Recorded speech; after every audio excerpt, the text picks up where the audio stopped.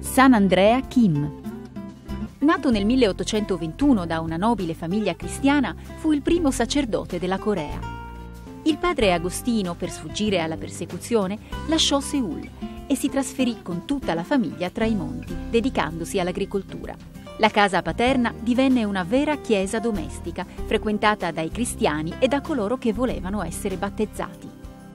Nel 1836 entrò in contatto con i missionari giunti dalla Francia e padre Pietro Maubant lo mandò a Macao. Nel 1844 tornò in patria come diacono, ma nel 1846 fu catturato, rinchiuso e ucciso nel carcere di Seul. 103 martiri coreani sono stati canonizzati da Giovanni Paolo II a Seul il 6 maggio 1984.